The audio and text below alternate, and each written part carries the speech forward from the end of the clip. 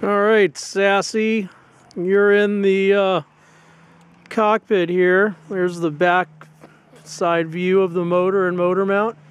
Looks pretty clean.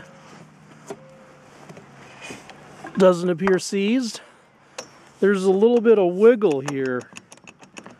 So, uh, and there's a little cracking down there. Looks pretty good otherwise.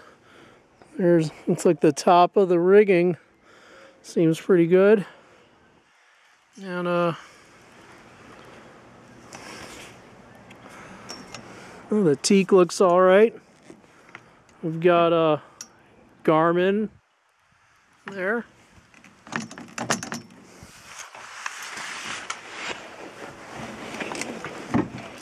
Yeah, there's all that water in the cockpit. It didn't drain. I guess it froze. But the top of the boat looks pretty good.